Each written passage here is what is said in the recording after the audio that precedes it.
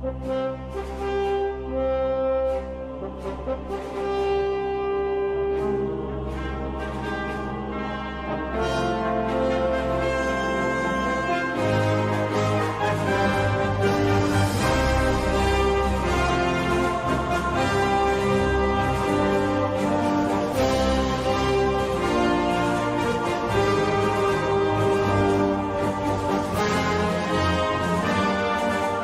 După înfrângerea de la Kosovopolie, Constantinopolul cu siguranță era pierdut, iar Iancu de Hunedoara era în plină retragere, numai că este prins. Despotul Durad Brankovici îl ia prizonier în fortăreața sa de la Smedrevo.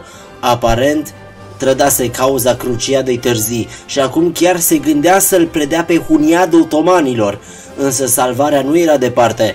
Baronii și prelații maghiari adunați la Seged îl imploră pe Brankovici să-l elibereze pe Iancu, dar condițiile nu aveau să fie ușoare. Sunt imperator și azi vom vorbi despre evenimentele de după acest arest și sper să termin aventurile Corvinului cu asediul Belgradului.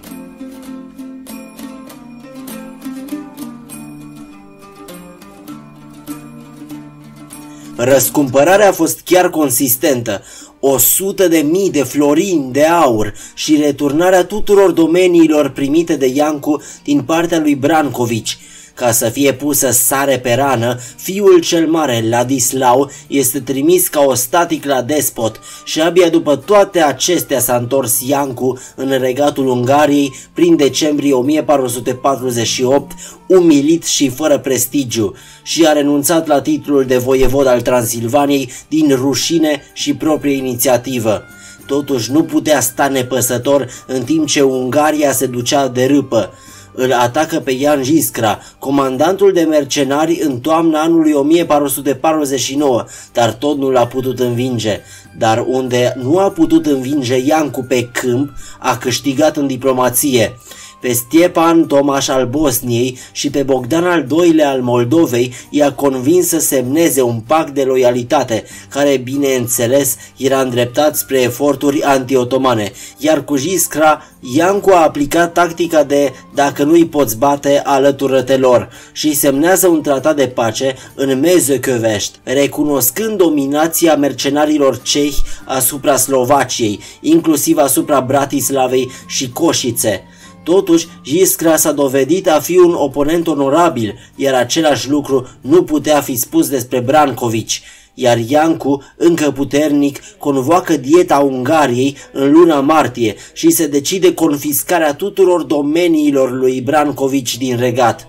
După o expediție rapidă și eficientă în Serbia, Iancu îl forțează pe despot să le libereze pe Ladislau, iar el, Ladislau Goroi și Nicolae Uilochi au semnat un pact în care își promiteau asistență reciprocă pentru a-și păstra titlurile în caz că Ladislau al V-lea postumul se întorcea pe tronul Ungariei. În octombrie, Huniadul cade la pace cu Friedrich al III-lea al Germaniei, iar neamțul primește pe încă 8 ani să aibă grijă de pretendentul tronului Ungariei. La negocieri s-a hotărât că Iancu putea cumpăra teritoriile sârbului cu 155.000 de florini și mai târziu despotul chiar este negociatorul unei păci dintre otomani și regatul maghiar pe trei ani. Iancu mai încearcă un atac asupra cehilor lui Giscra, numai ca să fie învins din nou de temutul comandant de mercenari la Loșonț pe 7 septembrie. În anul următor, Ladislau al V-lea este luat cu forța de la Friedrich înapoi în regatul Ungariei și Iancu ajunge la tratative cu Giscra. Mai mult de atât, Huniadul trimite ambasadori la Constantinopol, promițându-i eroicului Constantin al XI-lea paleologul ajutor doar dacă împăratul ceda două forturi mari, Silivri și Misivri. Dar ultimul împărat roman refuză ferm. Ca și fapt divers, Misivri este chiar Nesebar și este o destinație chiar iubită de români. Dacă ar ști românii că locul acela atât de frumos are în el duhul ultimului împărat roman... Huniadul convoacă dieta la Buda, însă nobilii Ungariei preferă Viena ca să fie aproape de rege, iar la acea dietă Huniadul este nevoit să renunțe la regență, fiindcă acum Ladislau al V-lea vine pe tronul cuvenit, dar îi lasă toate domeniile actuale lui Iancu, îi dă chiar Bistrița, nu doar orașul, ci întregul district săsesc. Îl numește capitan general al regatului și conte perpetu, care a fost o premieră în regatul Ungariei, primul titlu ereditar dat vreodată. Toate acestea pe 30 ianuarie 1453, dar bomba cu ceas ticăia pentru Constantinopol. În scrisoarea din aprilie 1453, în timp ce bombardele turcilor loveau zidurile teodosiene, Enea Silvio Piccolomini, viitorul papă Pius al II-lea, spunea că Ungaria lui Ladislau era administrată de trei oameni, mai exact domeniile totale ale sale. Ungaria de Corvin, Boemia de George de Podebradi și Austria de Ulrich de Celie. Dar poziția românului era tot mai slăbită. O dietă are loc în Praga între cei patru oameni mari de stat, dar la întoarcere, Huniadul convoacă o dietă neautorizată în Ungaria pentru a pregăti un război anti-otoman și lumea apuseană chiar se temea pe bună dreptate, fiindcă abia acum ajungeau curierii cu vești despre căderea Constantinopolului și odioasele masacre și violuri. În acest timp, ceilalți trei tot încercau să-i submineze autoritatea, dar campaniile sultanului Mehmet al doilea pârjolitorul, de fapt cuceritorul, dar v-ați prins la ce mă refer, din Serbia, în ciuda armistițiului activ, au amânat jocurile politice. Mehmed atacă Smedrevo, dar vestea că Huniadul își adună armatele la Belgrad ajunge la pârjoritorul Constantinopolului și îl forțează să se retragă prin august 1454, însă tot lasă trupe spre jaful și pârjolul Serbiei. 32.000 de otomani în total, dar Iancu îi ajunge din urmă, îi zdrobește și ca răzbunare atacă orașul Vidin și îl distruge înainte de a se întoarce în Belgrad. Împăratul Sfântului Imperiu Romano-German, Friedrich al III-lea, convoacă dieta imperială la Wiener Neustadt pentru adoptarea tacticilor anti-otomane, dar nimeni nu era pentru. Nimeni nu dorea să acționeze în timp ce Mehmet înghițea un oraș după celălalt. Și în realitate greșesc. Era cineva în favoarea Cruciadei? Iancu, dar era singur împotriva tuturor. Totuși, noul papă, Calixta al III-lea, îi admiră determinarea românului.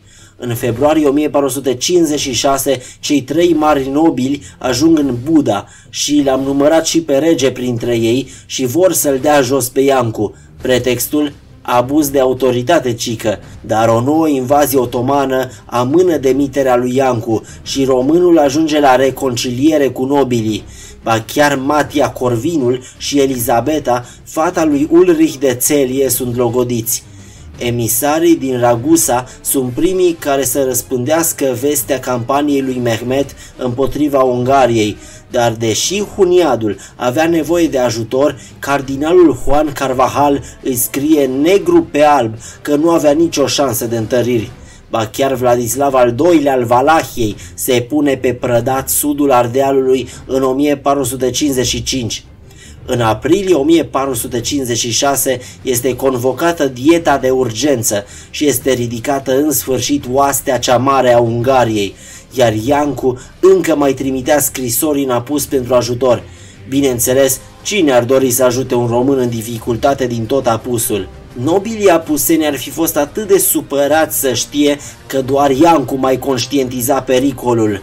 Belgradul era o fortăreață impunătoare, iar dacă otomanii puneau mâna pe orașul de pe Dunăre, cum ar zice englezul, ar fi fost game over. Otomanii ar fi avut mână liberă să cucerească apusul, fiindcă toate acele ducate și comitate fărâmițate peste tot de intrigi interne nu aveau posibilitatea să opună rezistență unei armate centralizate conduse de sultan și formată din oștenii, așa cum zice și poetul nostru național Mihai Eminescu, ieniceri copii de suflet ai lui Allah și spahii. Călugărul franciscan Giovanni de Capestrano, un bastion al cetății Alba Iulia a fost numit după el, predica peste tot cruciada, iar Papa Calix nu ezita să trimită peste tot soli pentru ajutor. Între timp, nobilii care înainte se dădeau mari viteji și îi puneau lui Iancu bețe în roți, fugeau din Buda, în frunte cu regele Ladislau, cu pretextul că mergeau la vânătoare o vânătoare care i-a purtat până la Viena, dar în principiu hunedorești erau singuri împotriva puhoiului otoman. Iancu îi trimite lui Mihail Silaghi 5.000 de mercenari unguri, cehi și polonezi. Încă nu putea veni personal la Belgrad, deoarece se ocupa de Vladislav al II-lea al Valahiei și îl ajuta pe Vlad Țepeș însuși să urce pe tronul țării românești. Sultanul pregătea o sută de mii de oșteni, înarmați până în dinți, în timp ce Iancu, abia întors din Valahia, avea 20 de mii de soldați la Seghedin. Totuși, propaganda papei și a lui Capestrano avea efect și oameni din toată Europa iau ce arme apucau și se îndreptau spre Seghedin. Vreo 28 de mii, dar cei mai mulți nu erau profesioniști și erau înarmați cu bâte, coase și praștie, într-o eră în care tunurile au demolat apărarea Constantinopolului. Sultanul pleacă din Sofia pe Valea Moravei, în fruntea armatei sale, ajungând într-un final în fața zidurilor Belgradului, pe care maghiarii îl numesc Nandor Feirvar. Apărarea era una solidă, foarte solidă, cu un șanț și un zid dublu. Belgradul părea greu de ucis, iar faptul că era pe Dunăre nu ușura misiunea otomanilor. Din potrivă, puteau ataca doar din sud. Nici nu mai vorbesc că două porturi asigurau aprovizionarea constantă. Un asediu de înfometare prelungit era exclus și onest să fiu, nici nu stătea în caracterul sultanului. Cu 200 de nave și 300 de tunuri, terenul părea pregătit. Să aduci 200 de nave pe Dunăre este ceva, la fel ca la Constantinopol, asul din mâneca lui Mehmed era controlul apelor, combinat cu focul de artilerie și oricâte nave ar fi avut Belgradul, nu putea să se pună cu flota otomană, care a trecut de fortăreață și blocă Dunărea într-un mare stil, navele fiind legate cu lanțuri între ele. În același timp, otomanii construiesc o tabără care să înconjoare cetatea și semăna chiar cu dubla circunvelație a lui Iulius Cezar de la Alesia. În rest, poziționare clasică, ieniceri în centru, oștile Rumeliei pe dreapta și oștile Anatoliei pe stânga. Asediul era pregătit, iar bătălia începuse. În următoarele zile a fost ca la Constantinopol. Tunurile bombardau neîncetat zidurile, inginerii otomani avansau pentru a submina fortificațiile, dar apărătorii reparau noaptea ce stricau turcii ziua. Dar în comparație cu asediul legendar din urmă cu trei ani, artileria Belgradului nu era distrusă din primele ore de bătălie, ci stătea bine pe poziții și provoca stricăciuni în tabăra otomană. Dacă Dunărea ar fi fost liberă, altcum v-ar fi cântat apărătorii, numai că blocada își spunea cuvântul. Apa și mâncarea se împuținau pe zi ce trece, însă un mesager disperat scapă printre liniile otomane, aproape ucis la un moment dat, dar ajunge la Huniad. Românul știa că nu mai putea întârzia, așa că rechiziționează vase de la localnici, pune tunuri pe ele și își pune cei mai buni soldați pe ele și începe marșul pe ambele maluri ale Dunării, în timp ce flota naviga în paralel, iar cursul Dunării le dubla viteza vaselor cruciate. Primul atac a fost cel al cruciaților și provoacă pierderi grele, iar flota din Belgrad vine și ea în ajutor. Vânătorul deveni acum vânatul. Ore întregi se luptau oponenții pe Dunăre, transformând apele într-o baie înroșită. Otomanii nu mai aveau șanse. Blocada era învinsă, iar soldații lui Iancu intră în Belgrad aducând provizii și apă. Mană cerească pentru apărătorii bravi ai acestei fortărețe. Mai mult de atât, de Capestrano aducea cu el cruciații și aceștia se poziționează pe malul opus al râului Sava. Rugămințile Huniadului au fost ascultate în cele din urmă, dar acum un inamic extra a intrat pe teren, iar acesta îi ataca și pe cruciați, dar și pe otomani. Ciuma, care a ajuns în zona Belgradului. Vreme de 5 zile, turcii au bombardat cetatea și la final, în acea zi de iulie, începe atacul oștenilor sultanului. Atac în plină forță cu toate efectivele, toată floarea cea vestită a islamului atacă frontal. Zidurile probabil că nu erau atât de distruse pe cum zic unele surse creștine, care tindeau să exagereze foarte grav, însă otomanii atacă atât de brutal încât primul set de defensive este spart de-a dreptul, mai ales la poarta principală. Dar Huniadul își retrage oamenii în citadelă și pregătea ultima redută. O bună parte din oraș era acum sub control turcesc, iar portul de la Dunăre era în pericol de a fi capturat. Toți se grăbeau spre citadelă dezorganizați, dar, surpriză, ies oștenii Huniadului pe poartă și îi lovesc brutal pe oponenți. Până la apusul soarelui s-a dus bătălia, dar la final otomanii se retrag. Deși pierderile nu erau mari, au primit lovituri zdravene la moral într-o singură zi, prea mult de îndurat. Mehmet însă a vrut să aplice și el o manevră ordonă cavaleriei să plece pentru a-i atrage pe apărători în afara zidurilor și a doua zi, în ciuda ordinelor lui Iancu de a nu părăsi orașul, câțiva tot se trezesc să plece în atac pentru a prăda tabăra otomană. Iancu își pune mâinile în cap, dar vede că și forța lui de Capestrano atacă tabăra dar acești oameni înarmați practic cu bețe nu aveau șanse de izbândă, însă țin linia suficient de bine pentru a-i permite lui Iancu să ia o decizie salvatoare. Cheamă toată cavaleria la steagul său și execută o ieșire, un atac în plină forță în flancul otoman. Pe de o parte, Mehmet obținuse bătălia pe care o dorea, pe de altă parte, rezultatul nu avea să-i fie favorabil. Fără spahi în zonă, otomanii erau în dezavantaj și chiar sultanul se alătură bătăliei. Dar peste doar câteva minute, dezastru, încasează o săgeată și este cărat în afara confruntării. Trupele otomane superstițioase se sperie și moralul le scade la un minim absolut. În derută, apărătorii se retrag în cetate, dar iau și tunurile cu ei. Iar Mehmet privat acum de chinta regală a armatei sale, ordonă retragerea. Asediul nu mai putea continua. Se termină. Vestea se răspândește în toată Europa, iar Iancu, din spinul în coasta nobilimii maghiare, deveni salvatorul Europei creștine. Dar dacă otomanii nu i-au făcut felul Corvinului, a reușit ciuma. Pe 11 august, Iancu este dus la Zemun în apropiere, dar acolo își dă duhul, iar în curând catedrala Sfântului Arhanghel Mihail din Alba Iulia sau în maghiară Ghiula Feirvar avea să-și primească cel mai mare locatar dintre toți. Este ironic cum două cetăți albe, Nandor Feirvar și Ghiula Feirvar, au fost locurile bătăliilor de deschidere și închidere în cariera lui Iancu, dar ultimul oraș este locul său de veci. În onoarea Huniadului, clopotele bisericilor catolice din toată lumea bat la miezul zilei în fiecare zi, o onoare nemai văzută și mai ales nemai auzită, dar din nefericire, noi românii nu i-am prea adus cinstea cuvenită. Maghiarii îl consideră pe Hunio Dianoș un erou ca nimeni altul, alături de fiul său Hunio Dimatiaș, Matia Corvin și își au locul de cinste în piața eroilor din Budapesta.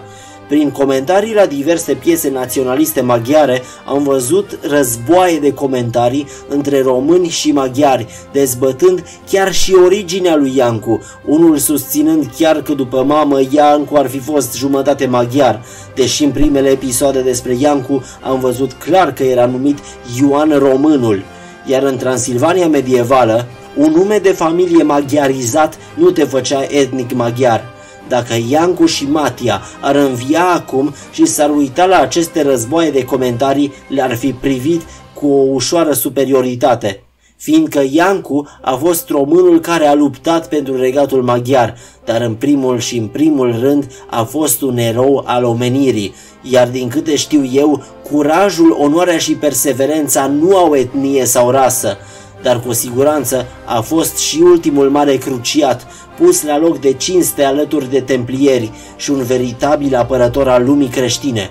Ioan Românul nu a fost un geniu militar de cinci stele, nu era un Alexandru cel Mare care să-și câștige toate bătăliile, dar principala diferență pozitivă dintre Alexandru și Iancu ar fi fost că macedoneanul a moștenit toată armata tatălui său, organizată în mod exemplar, în timp ce Iancu s-a ridicat pe propriile puteri. Nu avea armată profesionistă în majoritatea cazurilor, dar a salvat Sibiul cu ce avea. A pierdut foarte multe bătălii, dar prin perseverență a învățat din greșeli, trucurile inamicilor ca într-un final să-l umilească pe Mehmed al doilea. Până la urmă, puțini oameni își mai amintesc numele tatălui lui Mehmed, care i-a spulberat pe cruciați la Varna, dar toată lumea își aduce aminte de două nume care sunt sinonime cu puterea și curajul, Mehmed, respectiv Iancu. Dacă romano-catolicismul din întreaga lume îl cinstește în fiecare zi pe Iancu, iar maghiarii îl pun pe un piedestal, noi românii ce scuză avem să nu-l cinstim? Încheiem această miniserie despre Iancu și pot să spun că a fost o veritabilă plăcere să mai schimb din când în când era ca să nu mă plictisesc. Vă las în continuare cu programul săptămânal despre sângele Romei. Am promis documentare despre istoria românilor, dar să nu uităm că istoria romană este și istoria română.